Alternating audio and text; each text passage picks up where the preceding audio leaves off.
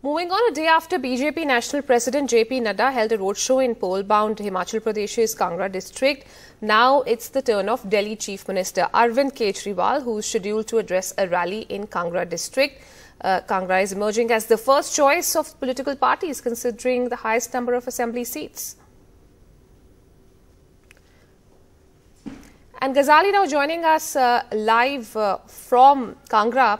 Ghazali, just take us through the arrangements, uh, you know, that's taken place there at the rally ground and also give us a sense of why is this so significant, politically significant uh, for Aam Aadmi Party to make an impact there? See, uh, first that Aam Aadmi Party started their politics everywhere where there was the contest was bipolar or between the two parties, Congress and BJP. They make inroads in Punjab in 2017 where the contest was between Congress and Akali BJP combined. They missed the chance in 17 but got a massive mandate in 2022 assembly polls. Now Himachal is also one of the neighboring states to Punjab. There are some Punjabi speaking areas. Now this particular district, Kangra, is one of the largest districts of Himachal Pradesh having more than uh, around 15 seats and it is often said that the party which wins maximum seats here comes to rule the state as well. Last time the BJP in 2017 won maximum seats here and before that uh, in 2012 it was Congress. So this time around after Mandi which is one of the largest districts as well in, in Himachal Pradesh, the focus now is in Kangra and uh, if you see after Arvind Kejriwal held a road show there, the BJP's national president JP Nadda, Anurag Thakur, they have been making frequent rounds to the state. Yesterday BJP held a road show here.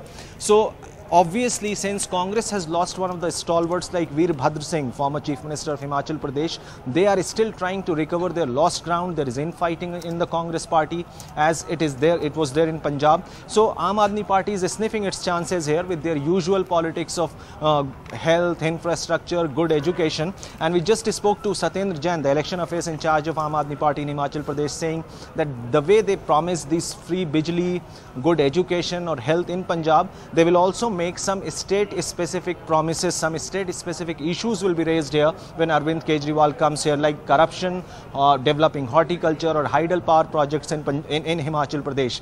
So the significance of Kangra district, as I mentioned, that this has got largest number of assembly seats, 15 assembly seats are here. In Mandi district, where the roadshow was held earlier this month, there are 10 assembly seats. So in total, the party is trying to cap capture or trying to focus on the, those regions which has got maximum assembly assembly seats. Right. And as usual, the party is again raising the same, uh, same, same sort of promises which they raised in Punjab and won the power back there. They are hoping that this time in, in Himachal Pradesh, the interesting fact is that no government has repeated or come to the power twice. So that is also another fact which Aam Aadmi Party is trying to sort of focus in or they are hopeful that they can come to power in Himachal as well.